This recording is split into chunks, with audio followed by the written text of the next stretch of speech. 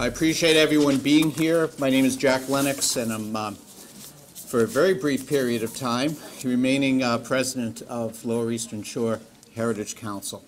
This is, I believe, our best attendance to date, which is really saying something, because those of you who keep coming back and back for more, remember the last few years where I've had that same introduction and got to say thank you. Each year, the excitement gets builds a little bit more. We have uh, additional guests join us. We found out that once we move past uh, the state legislative session, that things tend to work out a little bit better.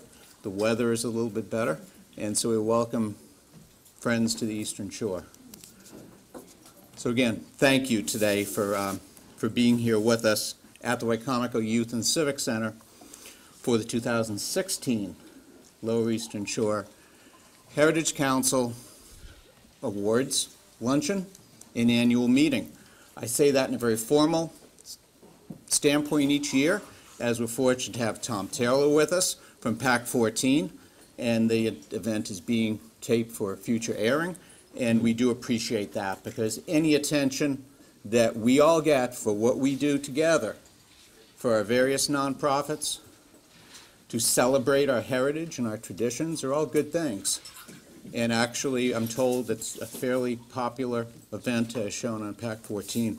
So again, we appreciate that.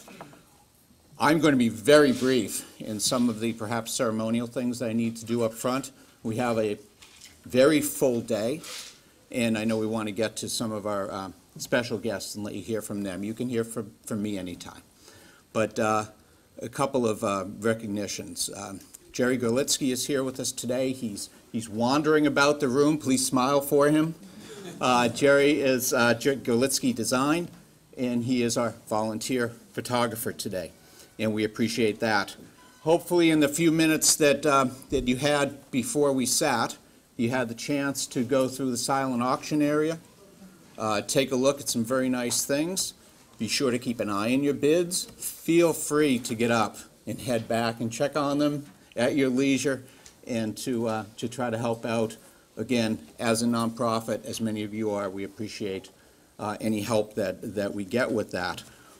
Also over in the silent auction area, please take a chance to look through some of the displays from the mini grant program. Those are, again, match type of grants that come through the state of Maryland, through the Heritage Council, and help support um, some very important local initiatives. And those are this year's uh, participants. And so please take a look at some of the, uh, the good work that they've done as well. Um, we had kind of a surprise out there as well today. Uh, Russ DeShield is with us, and Russ is still standing. Um, and, and, Russ, if many of you may know, as, as, a, as a local attorney and um, a celebrant of the, uh, of the Civil War, on a regular basis.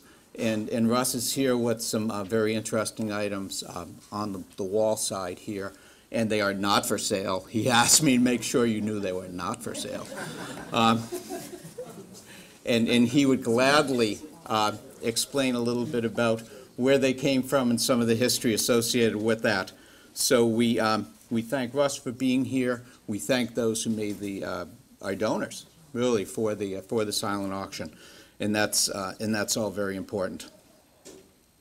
Our guest speaker today, Mr. Daniel Toomey, um, has been with us again for the last hour or so.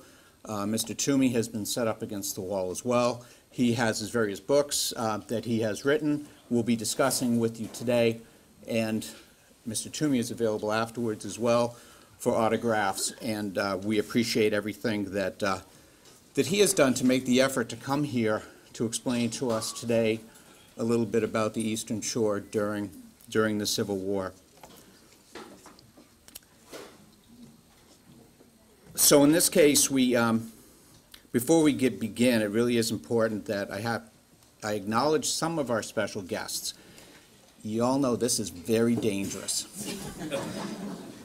because um, I'll be careful of some pronunciations. I'll be try to be careful to be inclusive but take a look around the room. We have folks here who, in their own organizations, in their own cities, their own towns, We have various elected, appointed officials, representatives of those, and some very important folks who help fund our organization. And so if I leave out anyone, please recognize this is just basically a sampling of um, some of the folks we have with us today. Um, We're going to hear in a moment from Secretary David Craig, who is uh, from the Maryland Department of Planning. Uh, Secretary Craig is one of our prime um, funding sources for the heritage area, and we appreciate his, his work.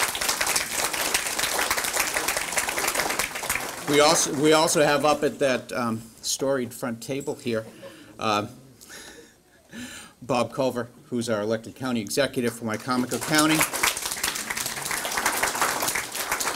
Jacob Day, who's a mayor of the city of Salisbury. Now, I'm, I'm also going to point out Lisa Ludwig, who you all know, and and depending on how things go today, we will be giving her great credit for this, and um, and already the, the the heart that and effort that she has put into this has been. it, it's been very impressive for me is uh, having that opportunity to have a professional like Lisa work as our executive director, and it's been a, it's been a good year, and I think you'll hear a little bit more about that year as we go on. Um, I know we were supposed to have Mayor G. Williams with us. If I see Mayor Williams, thank you. Uh, Senator Eckardt is here, I believe, or she was expected. Addie was, has been with us in previous years, and she was expected today. Um, Senator Mathias uh, has been nice enough to send an entire table in terms of his sponsorship. And um, rep- represented by, uh, by Donna Hoy today. Um, Senators Cardin and Mikulski, I believe, are represented by Kim Cradaville and Linda Prochaska. Would be here. Yes, thank you very much. Um, A nice uh, addition today.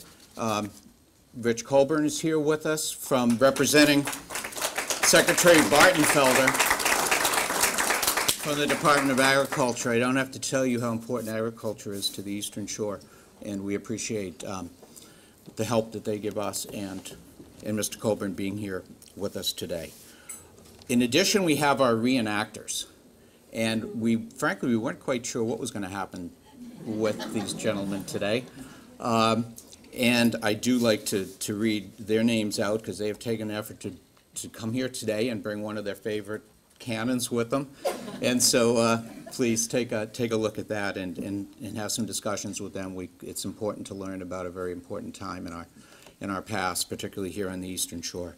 So Mr. Dale Foxwell, Mr. Gene Buchan, Mrs. Cindy Buchan, Mr. William Purdy, Mr. Lauren Clark, and Mr. Gary Wright. And I'd like to thank them for being here today.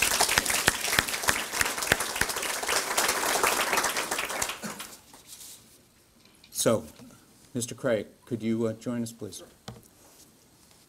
Again, thank, thank you. We, we really appreciate, this is two years in a row that Secretary Craig has been with us, um, and he has a very impressive past in terms of representing both cities and counties through uh, Maryland Association of Counties as president, through MML as president, and being the chief executive of those local bodies as well. He understands our issues, and we appreciate his support. Secretary Craig. Thank you. Thank you for the nice introduction. Uh, I am assuming if those things are not for sale, that they're free. So do we just get to pick a couple of those off the wall? Uh, I want to start by giving you greetings from Governor Hogan, who was here last week. And it is, I am very happy to be here, not just as the Secretary of Planning, since the Maryland Heritage Area comes under my department, but also because I was a history major and not in Salisbury, Towson State College. The um, Maryland, the Maryland Heritage Area does operate under the, the um, Maryland Historic Trust, which is one of the divisions in the Department of Planning. And it does, it, that falls under my Deputy Secretary, um, Wendy Peters. And I'm also glad that it, uh, takes care of the, um, of the whole agency and, and things that uh, concern you. Now, he mentioned, thank you for my experience as mayor. Uh, I learned very quickly how important historic preservation was to help with tourism and how tourism, and that then helps with uh, your economic development, but it's also important to have grant programs. Now, uh, it was, we are in our um, 20th year of having the Maryland Heritage Area, and we now have 13 Maryland Heritage Areas, and every county is now part of one. Of course, now we're in the Lower Heritage uh, Shore area, and you were uh, authorized in 2003, and you've done a lot of major projects here. I was down in this area earlier, uh, I guess earlier this year, uh, for some of the things that have been done. And you've gotten $2.5 million in grants. I have to admit, I didn't bring you any change today. But we were very happy that the, the governor did include the $2.9 million in our grant program for this year. So we, we have the, the funding, and we will be able to help 62 projects move forward this year, and that's very important. Sometimes that is helping them uh, hire someone to help them figure out what to do, and sometimes it is, uh, you know, phase two and phase three, and it works all the way through. Uh, There is another reason I'm very happy to be here. When I saw that it was going to be the lower uh, Susquehanna, the lower uh, Chesapeake Bay, I live in the lower Susquehanna, the lower Chesapeake Bay uh, Civil War, I had to bring this photograph. This is a picture of my great-grandfather, Battery B, Maryland Light Artillery. He enlisted in August of 1861 as one of the first units because most, it's Cecil County, most of the people in Cecil County had gone over to Delaware and had, had registered over there. Um, He was wounded at Malvern Hill, then he fought at, at uh, Antietam, and was ultimately, this is one reason I don't like people from Connecticut, the infantry regiment fled from his unit, and he and 17 other, other members got captured uh, down when they were in 1864 after he re-enlisted, because I have the letter where he wrote about the, the, the necessity to end slavery. He had written that to one of his cousins. Um, He got captured. Of those 18, six of them died in prison at Andersonville. And then a new book has, has just come out relatively soon because they got transferred to uh, Florence, South Carolina. And I was able to find that when he was, when he actually went. And then when he came back, uh, when they let him out in February of 1865, he had to walk home from South Carolina. So he didn't get home until June. Um, But, uh, and, and that's when he got married and started the next generation of our family. So uh, it's, it's good to be here, and I, I appreciate everything you're doing. And, you know, we will make sure that uh, this group gets some of that $2.9 million.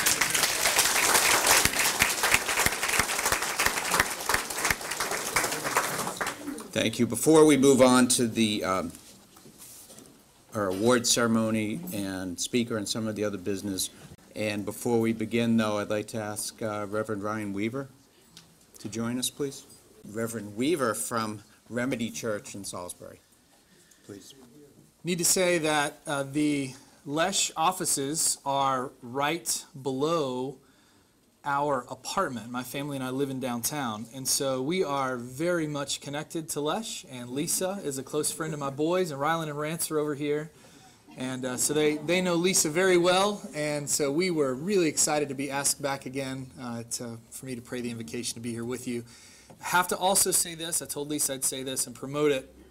Uh, Lesh has an app called the Chesapeake Country Blue Crab Byway. This is it right here. Is it only on iOS or is it app? Okay. Okay, and it's it's a wonderful app. We use it for downtown. There are all kinds of uh, downtown Salisbury. I know you're from several downtowns here. Um, we use it in downtown Salisbury to look for landmarks, different things, but it's all over the Lower Eastern Shore. And it's a really neat app. So recommend you check that out when you can. Uh, without further ado, let's take a moment to pray. Father, thank you for heritage and history, uh, the recollection we just heard about, uh, you know, family member having fought uh, for freedom, and so we all remember the heritage that we have, and we pray that you would allow not only this food to fuel us today, uh, but it to fuel our minds in thinking about uh, remembering the past and also to consider the future we're handing off to those who come behind us. I pray that you would, in this political season, guide us well, uh, guide us uh, with wisdom and character, and may we speak boldly for the things we value the way our ancestors have. And may we each stand for freedom in the way that you lead us to. In Jesus' name, amen. Great, thank you, Ryan. Before we get into the award ceremony, I would just like to take a moment to take a look at the, um, the list of the Board of Directors, which are printed out in your program. And I'm going to read each of the names, and just for the sake of time, if if you could do me a favor, please, to my associates, and just stand up, remain standing, and we'll give you one applause at the end, if you could, please. Uh, Wicomico County, Geraldine Bell, Sylvia Bradley, Matt Kramer, Alita Davis, John Hall, Bill Wilson, and Lee Whaley. From Worcester County, Cynthia Bird, Sandy Hurley, Glenn Irwin, Mona Margarita, Kate Patton, and Ivy Wells. From Somerset County, Dr. Ernie Boger, and I'd like to welcome Dr. Boger as our incoming president as well. Uh, G., Duke Marshall, Danny Thompson, Gail Yerges, and Julie Widowson. Have a round of applause, please.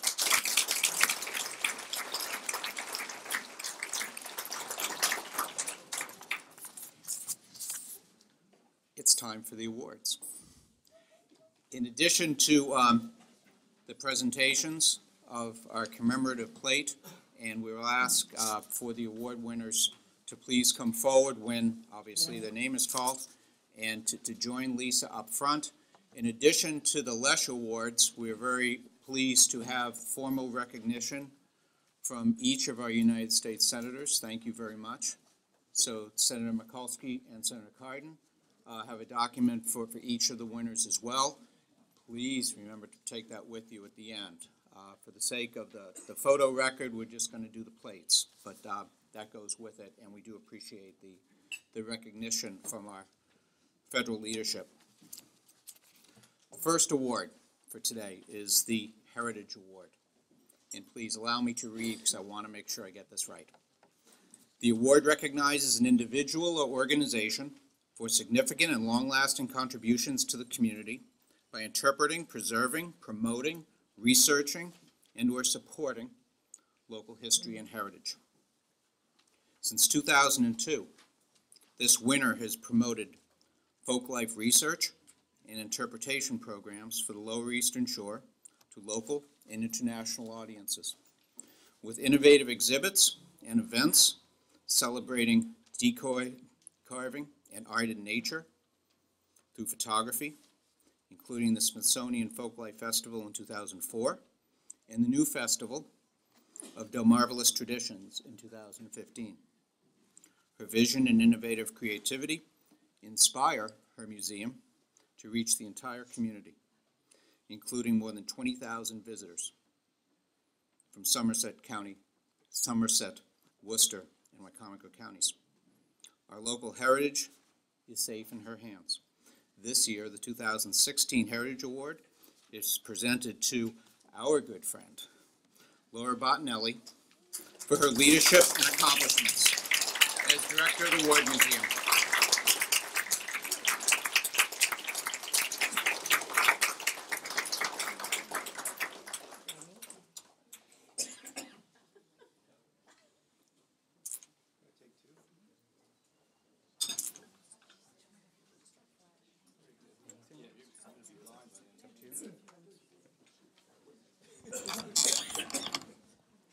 Good afternoon, everyone. Thank you very much uh, for honoring me with the Heritage Award. Um, I have lots of good friends in the room that we've worked with together over the past, I don't know, 13, 14 years uh, doing regional ethnographic studies and all the various programs that have either been done uh, with the Ward Museum or with all the partnering organizations that are here. Um, many, many warm faces, and it's good to see everyone. And um, I want to thank my husband uh, for his patience uh, with me as I've been driving around the shore, pulling too many large rabbits out of the hat and wondering what to do with them. And thank you all for everything you've done uh, to help us uh, together have such success in our community.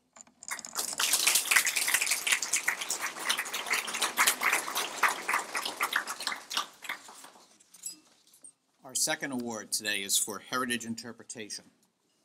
This award recognizes outstanding heritage interpretation or heritage tourism product and is awarded to the sponsoring organization. Eligible products include exhibits, self-guided and guided tours, videos, tapes, interpretive brochures, publications, and websites. The Cape to Cape Interpretive Guide serves as an educational, self-guided tour acknowledging and interpreting our important regional, cultural, and natural resources along the 120-mile coast corridor through Maryland from Cape Henlopen in Delaware to Cape Charles, Virginia. This is a self-guided trip through coastal Delmarva, which will inform the journey while also stimulating growth in the tiny towns along the way. Through Maryland's lodging, dining, recreational, and historical sites that might otherwise be overlooked by travelers. The 2016 Heritage, Heritage Interpretation Award is is presented to Worcester County Tourism.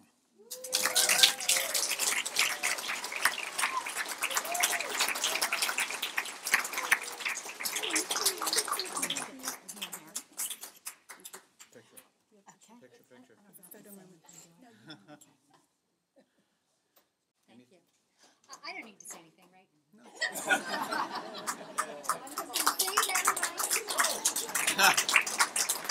Le- Lisa is a former board member and has had quite a bit to say in the past, so. uh, And we definitely appreciate her.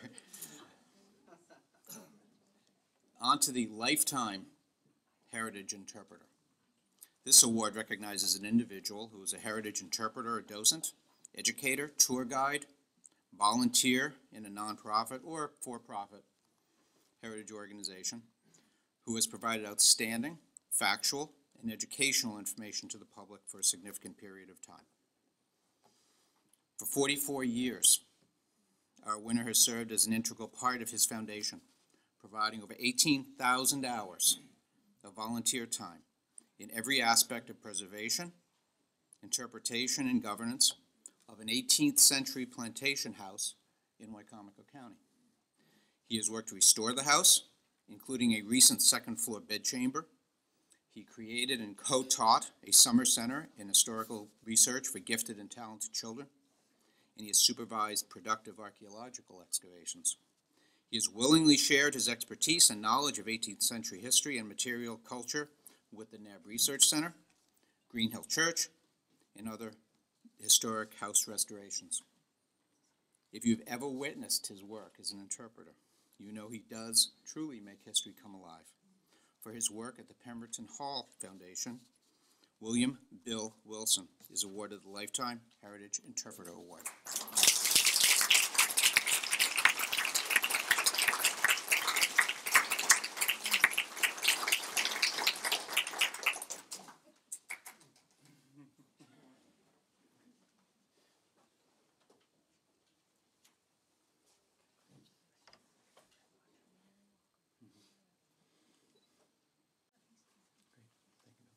Anybody that knows me knows they can't shut me up.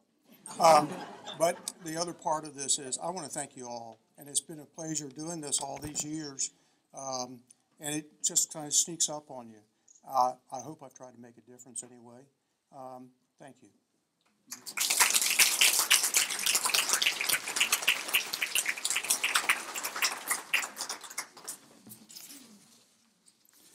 Our next award is the Heritage Tourism Program or Event. This award recognizes an outstanding heritage event, a lecture series, or other type of program that makes local heritage come alive. A heritage program or event informs, educates, and/or celebrates some aspect of our local heritage. This event intertwines heritage and ecotourism while providing much-needed and meaningful community health and economic benefits to Somerset County and its visitors.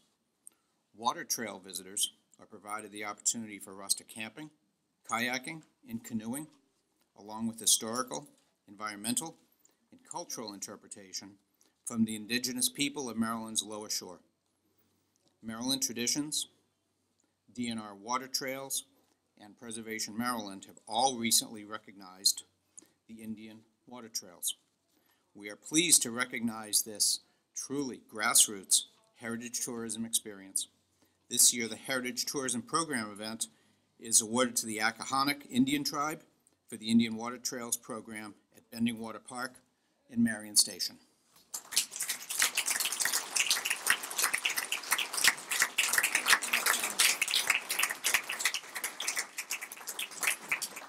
Accepting is Mr. Mike Hinman.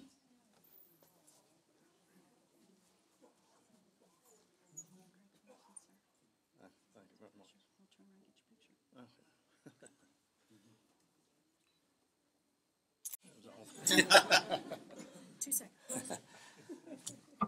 My name is Mike Hinman. I'm the chairman of the Accohannock Tribal Association. And uh, we'd like to uh, thank uh, Virginia Bush, uh, Busby for uh, nominating us to this award. We've worked hard, we've worked hard at this for a great many years. And the- people sitting at Mathias's table are all to be commended because they're helping us in the, to achieve our identity back as descendants. And I've uh, got a Civil War story too. uh, we were we were called up a couple of years ago on the phone from Tennessee, and uh, they wanted us to uh, plant a, a memorable uh, marker of a Civil War soldier uh, who was a Confederate that was buried in our next door to our our park, Indian Park, and we asked them how come they chose us to do that. They said we didn't want no damn Yankees putting anything on our floors. so, so, so we figured we were safe with the Indians. So we went ahead and done it with, with, with great pleasure. But that's that's our Indian story. Thank you very much.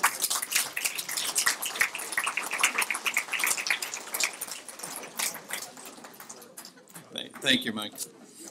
The uh, Best New Heritage Initiative.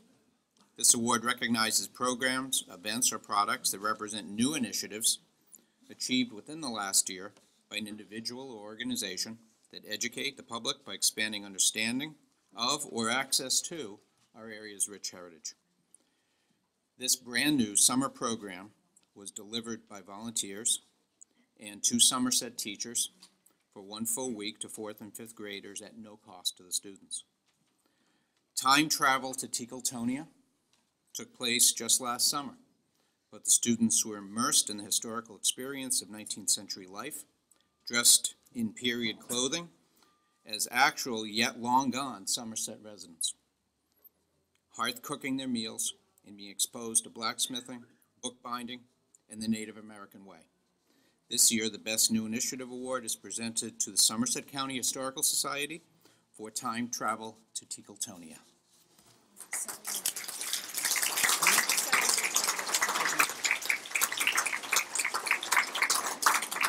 Accepting is Miss Sally Ridgway.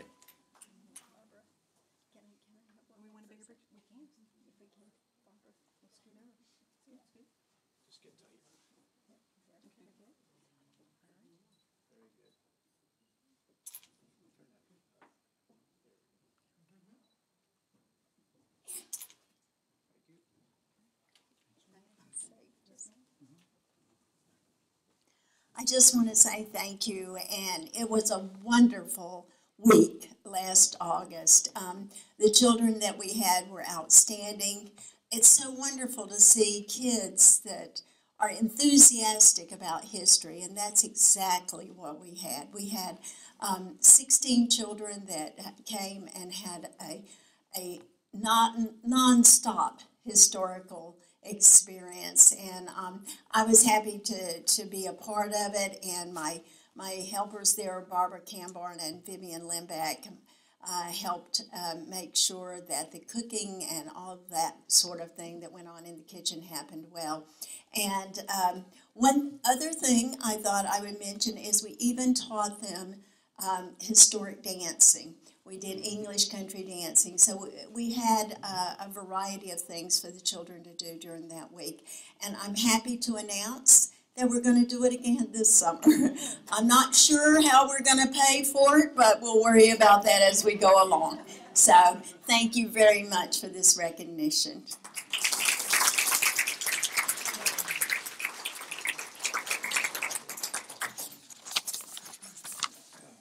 Our final award this year, the T. O'Connor Heritage Professional Award. This award recognizes an individual, author, archaeologist, architect, exhibits, publications designer, historian, landscape designer, preservationist, professional staff, or researcher. It's a pretty broad category. For significant contributions to enhancement of local history and/or heritage tourism. As a community scholar and native of Crisfield, this gentleman has proven to be a consummate professional, deeply passionate and generous with his knowledge about maritime traditions. His continuous interest in cultural documentation utilizing oral history, filmmaking, and performance arts are well known on the Delmarva Peninsula. The book he co-wrote with Elmer Barkley, Skipjack Captain, Kermit Travers, last but not least, describes the life and work of a historical hero. The Ward Museum, the Chesapeake, Chesapeake Bay Maritime Museum, the Delmarva Discovery Center and Museum, as well as the Library of Congress Folklife Festival and Smithsonian Community Scholars Program, among many others, has invited and appreciated his speaking engagements. This year, the T. O'Connor Historic Professional Award is presented to Mr. James Lane.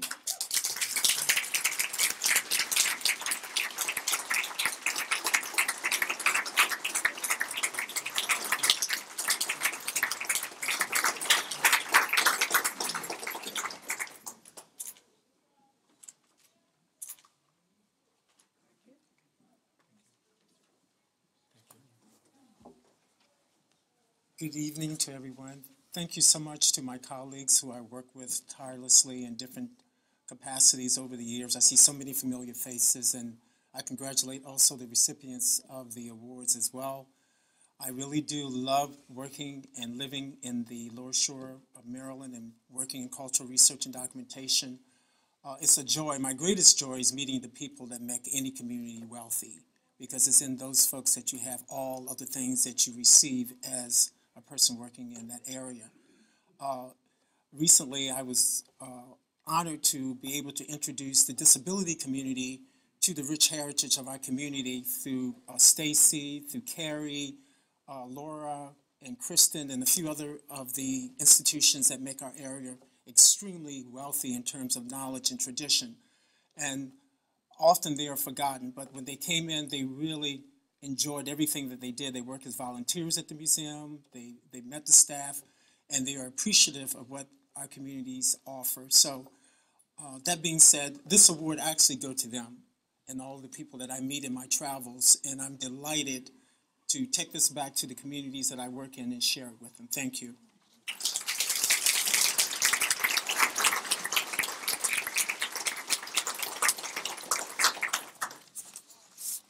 Great, thank you. As Mr. Lane pointed out, when we stand up here and look out and see so many familiar faces, I'm reminded that um, many of you are previous award winners, belong to organizations that have won awards in previous years, and um, come back and join us again and continue to honor those who now succeed you. So, um, thank you all to the current award winners and the previous recipients as well. Now to our guest speaker. I had the privilege today of having uh, lunch with Mr. Dan Toomey.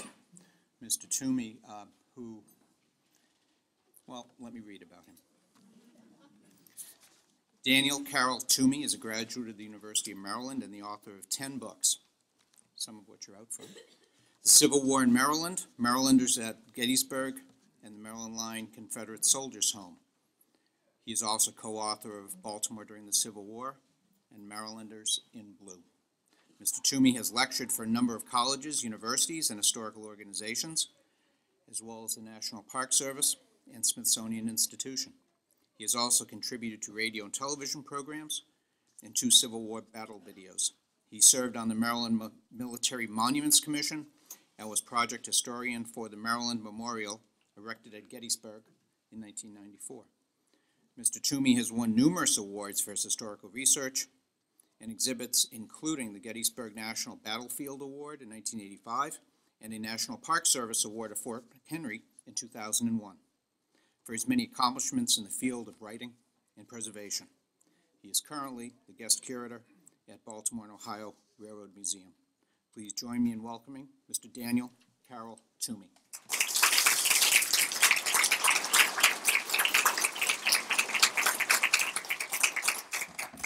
Thank you very much. First of all, I'd like to uh, thank Lisa for inviting me here today. I travel around the country, literally, and anytime I go to an event with 50 people, whatever it is, church, wedding, I don't care what it is, political, I say you've done well. You've got over 100 people here. You people are doing very well, and I, you should congratulate yourselves. This is no small accomplishment. Now, I realize that the focus of this organization is the Lower Eastern Shore, but what I'm going to do today is talk about the Eastern Shore. But I think it's important that you kind of know what happens across the county line, and with this information, perhaps you can find ways to interact, uh, uh, uh, but appreciate the identity of the Eastern Shore. And I realize this is coming from somebody from across the bay, but anyway, I, I am sincere. Uh, what I'd like to do is, first off, uh, really, a lot of people don't understand the Eastern Shore in terms of its Civil War identity, and that's what I want to preach to you, I guess, today.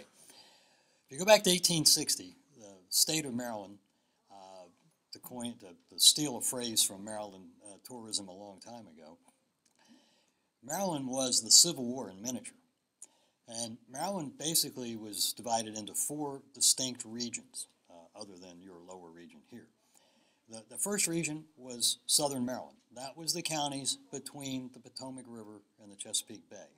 That was the oldest area in the state, oldest settled area. Uh, it was devoid of manufacturing, no railroads. Its economy was the tobacco plantation. You had the fewest, sla- fewest whites than, and the most slave population there. Then you have the next section would be northern western Maryland. It's the counties around Baltimore West. Here you had the largest cities, you had the railroads, the industry, you had a diverse uh, economy. Uh, grain uh, was a major crop as opposed to tobacco, and it was where most of the immigrants would settle. So this was a quite a different area. I, I drop back just a second. So if you think of southern Maryland, you could think of the deep south.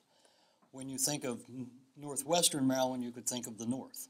Now, when you look at Baltimore City, it simply can be described as a city with a northern personality, uh, a northern economy and a southern personality. It was the largest industrial city in the South. And then where are we are today? The Eastern Shore. And I say this without any uh, slight, but it, with, with intent to explain it. Uh, the Eastern Shore was mentally and physically separated from the rest of the state. Uh, the immigrants that arrived in Philadelphia and Baltimore either settled there or went west, but very few immigrants came this way. So the immigrant flow between the 1840s and the 1860s really didn't change the uh, social makeup of the Eastern Shore. There was talk of secession on the Eastern Shore back as early as 1850 to secede from the state of Maryland, create a state along with the two Virginia counties on its own. So secession wasn't exactly a novel idea. Um, there was a declining interest in slavery. By 1860, the black population on the Eastern Shore was 50% slave, 50% free. So I, I could uh, compare the Eastern Shore with the Upper South, if you will. So you see, we had all the elements that the, uh, the whole country had going into the war. Now, during the Revolutionary War, the Eastern Shore was a divided region. Uh, 50% just about loyal to the king, 50% rebels. And almost all military operations during the Revolutionary War were waged on the Eastern Shore. During the Civil War, it would be a divided region again. Uh, fair, the first probable question, well, let's look at the election of 1860. Uh, I know we're all probably a little bit bored of politics right now, but uh, this one you'll find interesting. Um, as you know, Lincoln uh, was not the first choice in the state of Maryland. He received less than 3,000 votes throughout the whole state. And on the Eastern Shore, he only received 93. In fact, two counties, Queen Anne's and Worcester, zero. So you get the idea that the, you know, he, he wasn't the man. And um, also what this leads to is what will Maryland do? Never forget, when you're talking to tourists, when you're talking to your in-laws, I don't care. You know, convince them of something, let them know. Maryland was a southern state. Southern state meant it was a slave state, and it was a border state, and a border state meant it was a divided region. And this history of Maryland during the Civil War cannot be matched by anybody else. They get close maybe in Kentucky or Missouri or Tennessee, but they can't match us because we had one dynamic that scared the heck out of everybody in Washington. Don't forget, Maryland is the only southern state north of Washington, D.C. If Maryland secedes from the Union, the nation's capital is located behind enemy lines. Not a good way for Mr. Lincoln to start a war, and remember, he got less than 3,000 votes. So he really did worry about the state of Maryland. um, so the first, first question we might ask with all this divided region and thing then would be, well, who fought who, and who fought for who? And uh, we look here on the shore. Now, because Maryland did remain in the Union, the uh, recruiting of Union soldiers was an open act and organized and, and, and in the public. Those that, that uh, wanted to support the Southern cause had to go underground.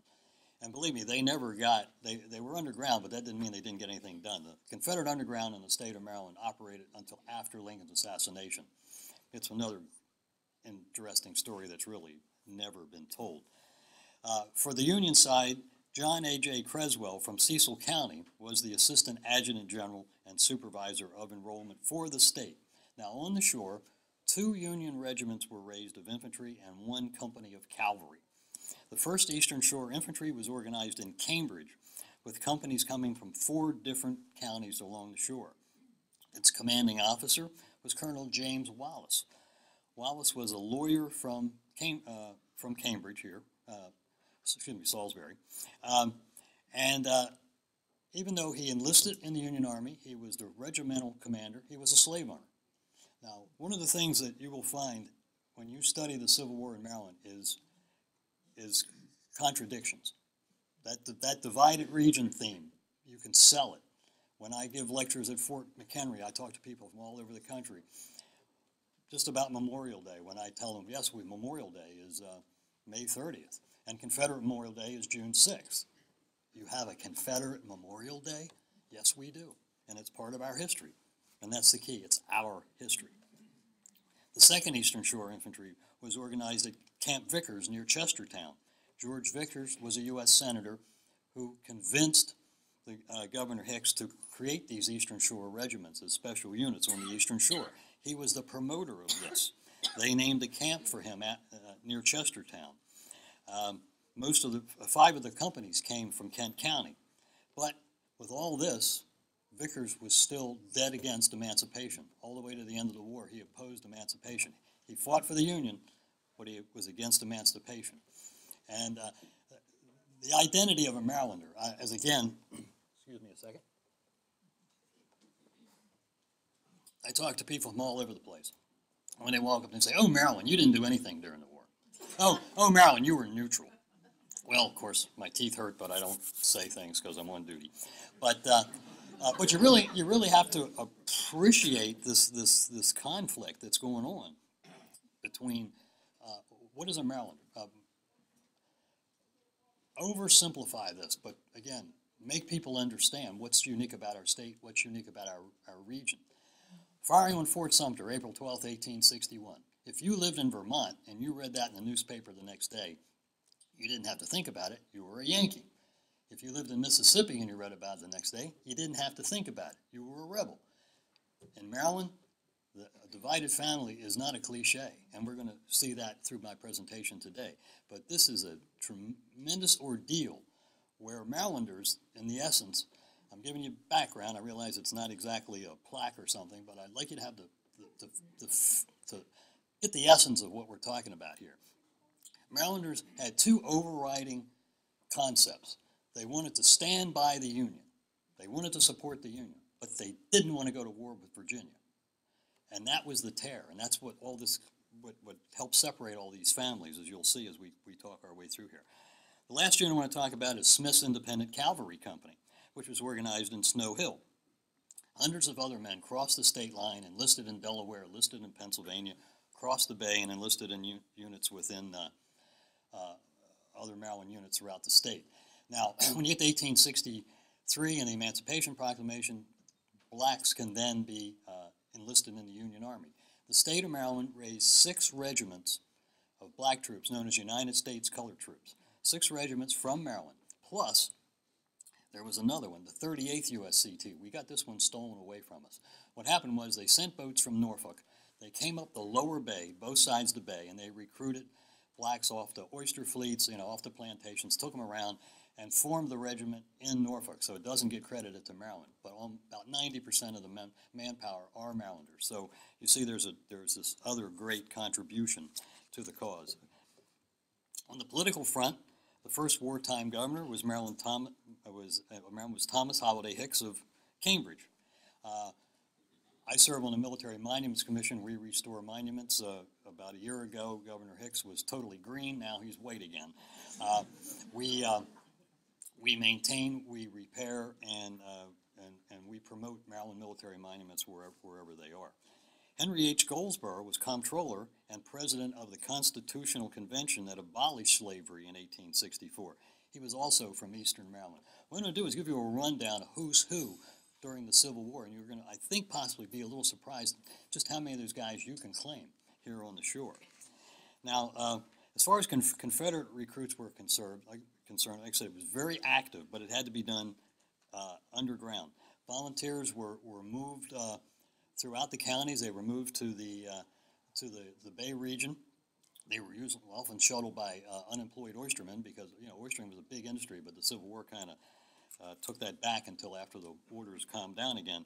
So a number of these old oystermen were were, were running. Uh, across the bay with contraband and recruits for the Confederate Army.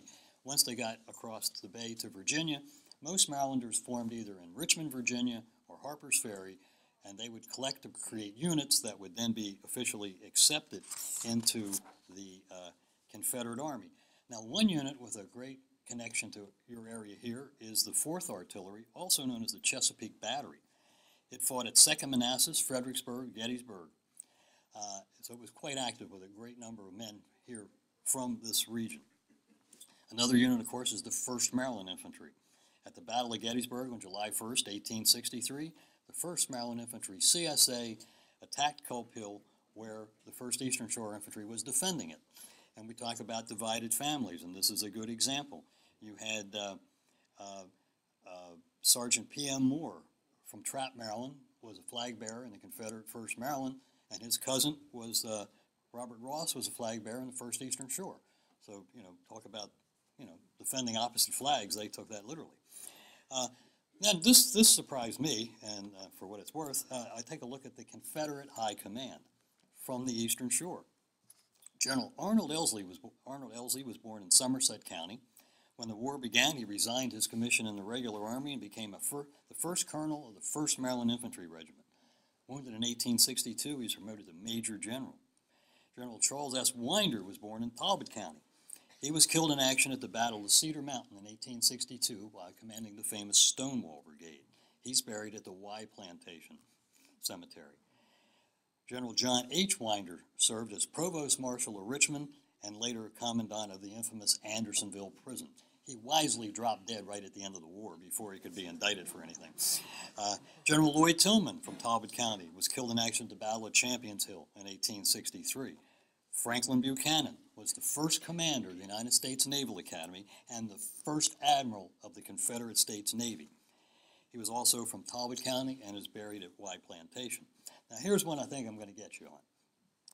How many people know John W. Bromwell?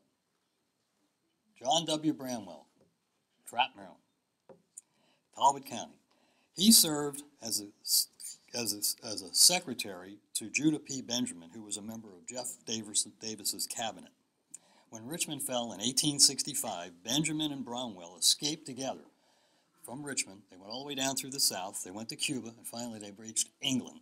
The entire time he traveled, he was carrying the Great Seal of the Confederacy with him. So he would be a, a hometown hero to some people. The thing I like to stress, and I don't, you know, I look at history as Maryland history. I don't have any one part, regardless of what Russell will tell you. I, I love it all. Uh, but you have to give the devil their due. And any Confederate soldier that served from Maryland was a volunteer. He didn't get drafted. He didn't only get drafted, he had to make his way across the Chesapeake Bay, enlist, and give up everything he had and be cut off probably until the end of the war to ever come home again. So, like I said, give them the devil their due. And I'd like to just introduce you to one Confederate volunteer from the Eastern Shore. His name is Joseph F. S. F. Ridgaway. He was from Easton, Talbot County. He was the son of a prominent merchant and sea captain who owned several ships. Joseph acquired his seamanship papers at the age of 16, so he, he knew what he was doing. In 1862, he ran the blockade. He enlisted in the Confederate States Navy. In the fall of 1863, he volunteered to serve on the Confederate submarine, the CSS Hunley. Ridgaway was serving as second in command when the third and final crew was lost after sinking the USS Housatonic. So he was part of the crew, first submar- successful submarine attack in naval history, February 17th, 1864. He's also the only member of the Hunley's crew that was positively identified through a DNA analysis. So we got a little CSI thrown in. Well,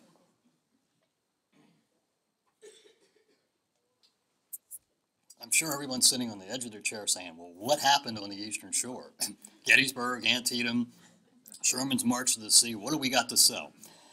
I'm not going to lie to you, you don't have a lot of big battles. But you have a lot of very interesting events, and I'm just going to tick a couple off because I know I don't have a lot of time today to do the whole thing. But I want to talk to you 1861, the occupation of Accomack and Northampton counties. Now, this is interesting stories. You know, you got two Virginia counties over here, to me doesn't make sense, but that's how history works.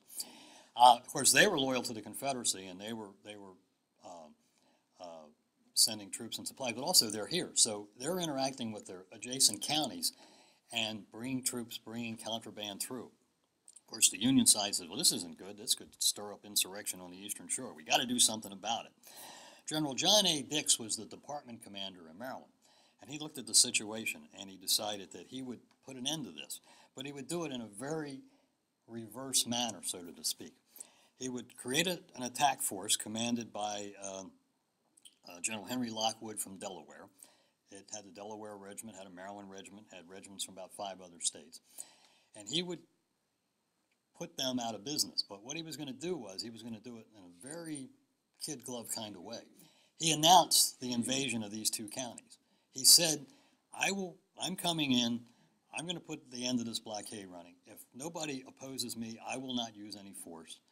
And uh, he was hoping that he could get the, uh, the two Virginia counties to possibly uh, uh, agree to leave Virginia and join Maryland. That would have been a little, a little, uh, little kicker there for that. But he, but he made it clear. He said, you know, we're, we're not going to alienate your rights. We're, we're, we're going to we're going to we're going to respect your property rights, which at this time meant their slaves, which being Virginians would, would be something that they would be considered about. So they begin this this advance with 4,500 men on November 17th from that new town near the Virginia state line. And as they advanced, every day they announced where they were going. They moved about 10 miles a day, and and uh, it was it was all planned out where Lockwood would advise people where he was going to be next. I mean, can you imagine D-Day with Washington? I mean, uh, Eisenhower saying to Hitler, you know, I'm coming in on June 6th. Uh, just the opposite. Just the opposite. He's so he's advancing. Here I come. Here I come. Well, as they approach um, uh, the Virginia first line of defense, the the, uh, the, the fortifications are empty. The militia have wisely uh, retreated. They were poorly armed. They had most of their weapons were left over from the uh, War of 1812. They even had one cannon from the Revolutionary War, so they weren't really good shape to fight anyway. Uh, the commanding officer of, of the whole thing, uh, uh, uh, Colonel Charles Smith, realized he didn't stand a chance. So he told the militia to disband, and he put about 100 men on a ship, sailed over to, to Norfolk, and enlisted in a, in a different Confederate unit. So the first military operation on the Eastern Shore, and one of the first military operations of the Civil War, It was a complete success. General Dix's plan worked perfectly. Complete victory. No battles, no skirmishes, and no casualties. Anybody knows the Civil War realizes that General McClellan would have loved that because he didn't like doing the enemy. Okay, let's look, um, 1862. This goes to the heart. Um, when I wrote the Civil War in Maryland in 1863, I was going to write a military history. And then, of course, I there was a lot of days, and I started back filling in, and I looked at political arrests and newspapers, and I realized that everybody that lived in the state of Maryland was a Civil War veteran, not just the guys that wore the uniforms. And this this will show just one example of that. And again, it's something you can key in on. The arrest of Judge Carmichael. Now, Judge Carmichael was uh, in the court in Easton, and he was pro-Southern in his leanings, and he tended to leave people off. Plus, he refused to enforce some of the illegal uh, directions he was getting from the department commander.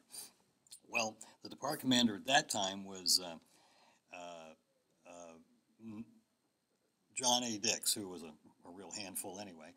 And uh, so he sent McPhail, his provost marshal, with some detectives, backed up by 125 soldiers. And during court in Easton, the uh, detectives marched right into court while it's being held. Uh, and McPhail told the uh, judge that he was under arrest. Now, the judge thought he knew something about the law. That's why they made him a judge. And he says, Well, the United States Army doesn't have any jurisdiction in my civilian court. And, by, you know, where's, where's your papers and so forth? They said, We don't need any. They grabbed him by the arms, beat him over the head, drug him out of the court, threw him on a boat, and took him to prison at Fort McHenry. Now, this is where you get into being a proud Marylander. Even the Unionists in Maryland were outraged at this, went to the Lincoln, and demanded the removal of Dix from office, which he was within a month's time.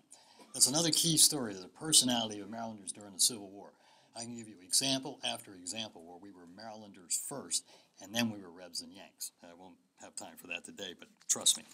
So this just gives you an idea of what it was like. Now, I also mentioned about divided families and the problem.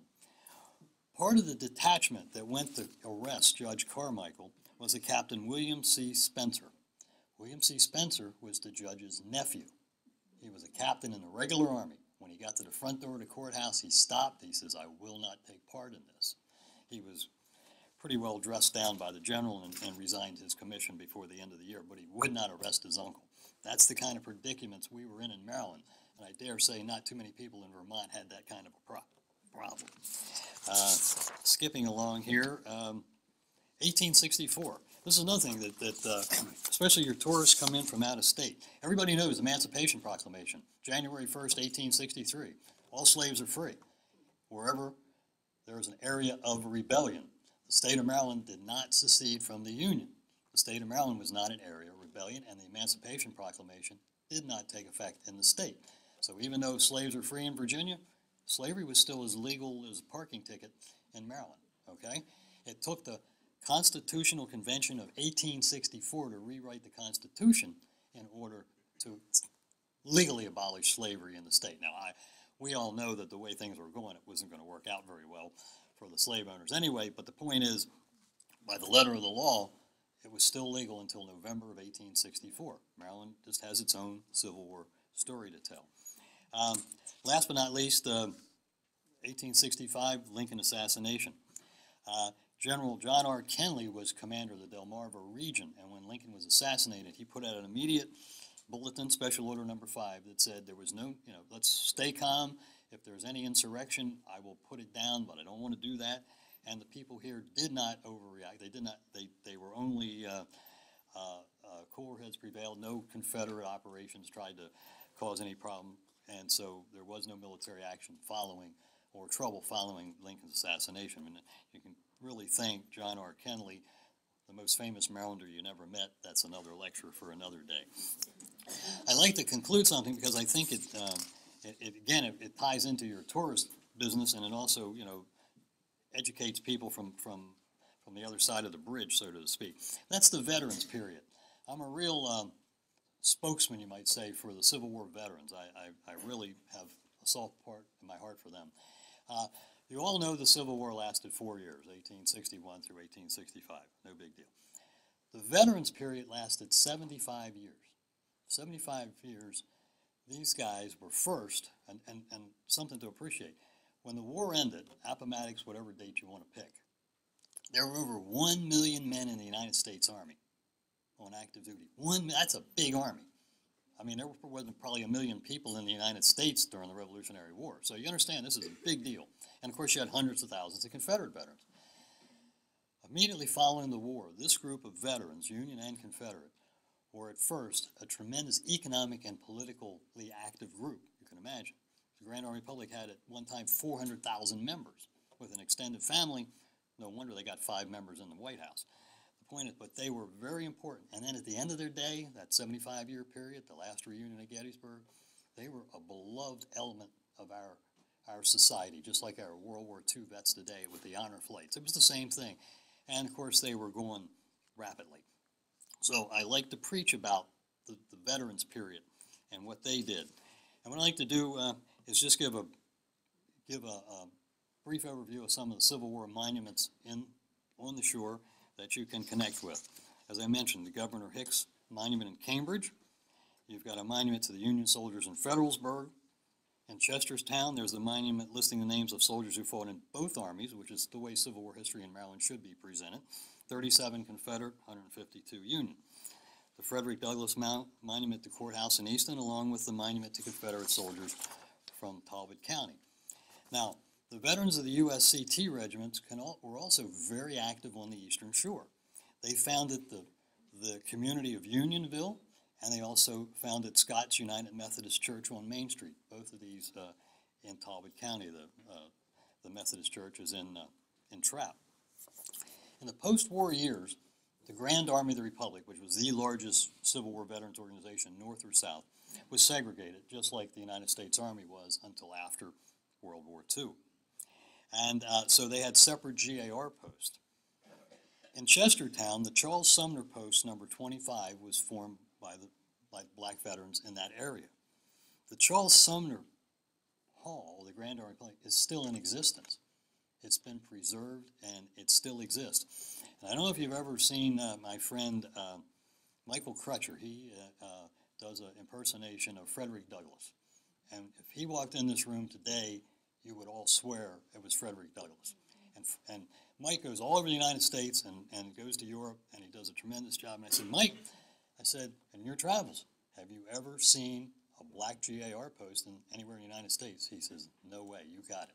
So again, we've got something to be proud of there. And last but not least, I want to talk about that 75th reunion at Gettysburg because you've got a connection there too. By the time 1938, uh, the federal government and the state of Pennsylvania invited every living Civil War veteran in the United States at their expense to come for one final reunion. Didn't matter north or south, didn't matter whether you're in the battle or not, but they all came. And 22 Marylanders came that were logged in as Marylanders to that 75th reunion. Two of them came from the Eastern Shore. One was Lambert Hyland, who had served in Smith's Independent Cavalry Company, I mentioned earlier, and the other was Isaiah Fawcett of the 9th USCT. Hyland was the last surviving veteran of Salisbury, Maryland, and Fawcett had been born a slave near Berlin before emancipation, before, before, the, before slavery ended. His owner took him to the recruiting station enlisted him in the Union Army. The slave owner got $300 bounty money. The United States Army got a soldier, and Fawcett got his freedom. And he survived the war and went on to uh, be very active in the Veterans Affairs. I've given you just a real quick overview of things. I would tell you, though, something I believe that the, that the story of the Civil War on the Eastern Shore is yet to be told. It's a book yet to be written, and I hope you'll capitalize on some of the talking points I've given you today. Thank you very much.